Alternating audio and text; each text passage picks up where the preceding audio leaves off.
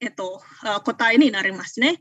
はい、次は、はい、次の質問は、日本の政府はすごいです。政府の漢字は、えっと、正しいのは2番、あ2番ですね。でも、えっと、似ている漢字を選んで、あまあ、同じく罠の答えを、あえっと、書きました。はい。えっと、そして、えっと、そしては、えっと、このあ問題3ですね。えっと、問題3の一番のあ質問は、えっと、あなた何々言わないであまり聞こえないので、はい、えっと、これはオノマトペの質問ですから、えっと、まあ、えっと、あ答えは4番です。ブツブツ言わないであまり聞こえないので、でも、えっと、多分あえっと、参加者は、えっと、まだオノマトペのことがあまりわからないので、えっと、まあ、あえっと、ヘラヘラとかイライラの意味は何だろう。えっと、これこれが、えっと、間違いやすいだと思います。はい。と以上です。ありがとうございます。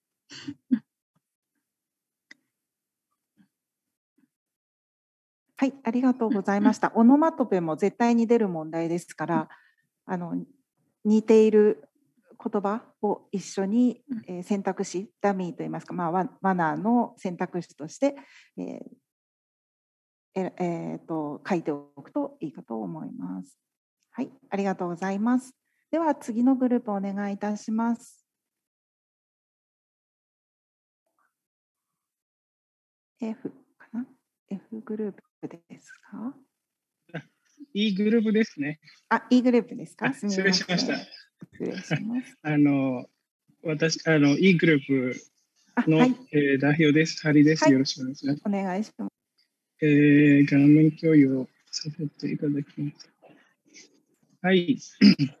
えー、E グループには、大稲田先生、インルン先生、エルニ先生、そして、イエシ先生とスリー先生、えー、がいます。えー、そして、えー、この、えー、5つあ6つの、えー、問題の種類の中から、えー、ご覧の通りあり、一番たくさん作れたのはこの問題1と問題2ですね。こうあの作ってみて、この2つの種類の問題が一番作りやすいなと思いました。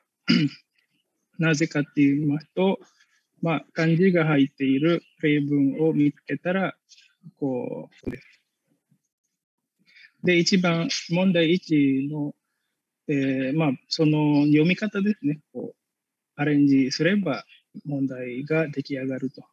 で、そして2番、2種、2種、2, 2つ目の種類は、あの、その漢字ですね。その漢字の、えー、まあ、同じ読み方をするあの組み合わせの漢字を見つければ問題が出来上がるという感じです。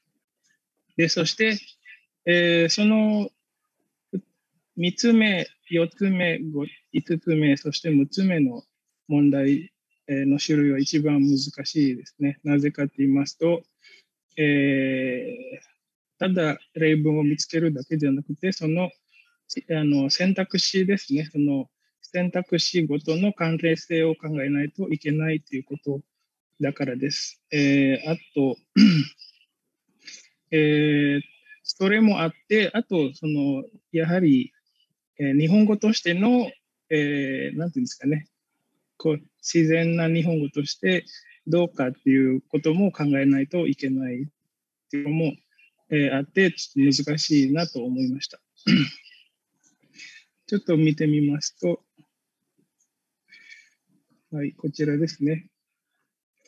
えー、まず問題1はこういう、えー、先生方と一緒にこの問題を作りました。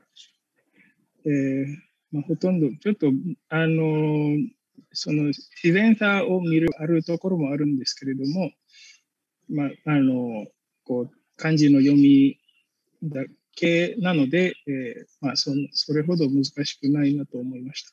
そして、え、問題2の方はこういう例文を、あの問題を作りました。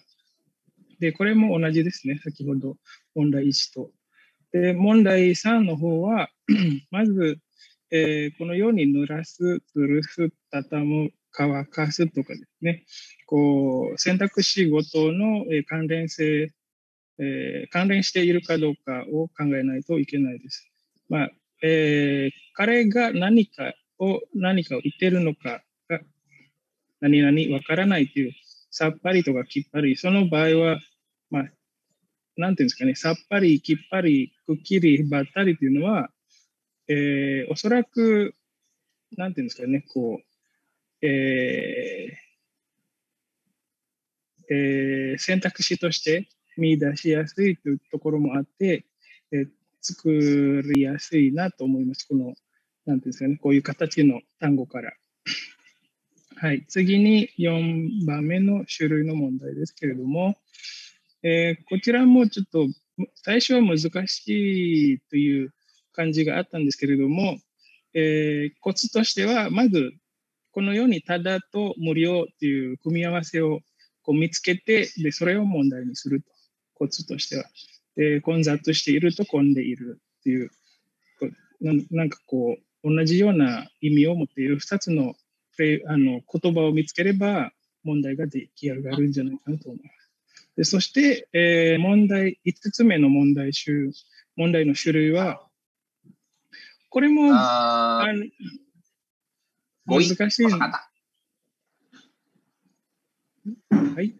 難しいんですけれども、あのちょっとやってみたら、例えば、この詳しいっていう、えー、単語を見つけて、で、詳しいの例文をえー、一つ選んで、その後、詳しいと同じような発音をする、えー、単語を見つけて、例えば、2番の場合は騒がしい。はい。データ先生聞くてます。そして3番目の、えー、例文は、寂しいとか。で、最後の4番は、えー、優しい問題かとか、そういうのをちょっと、えー、アレンジして、すぐ問題が作れるんじゃないかなと思います。っていうコツをもうちょっと考えました。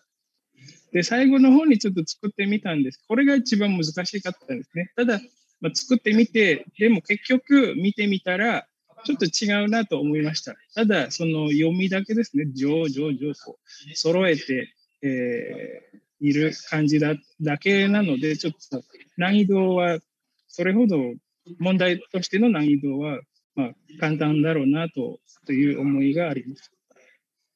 はい、以上です。いいグループから以上です。ありがとうございます。ありがとうございました。あの短い時間でたくさん作られてて、あのすごいなと思いました。私も結構時間かかってしまうので、いつも作るときに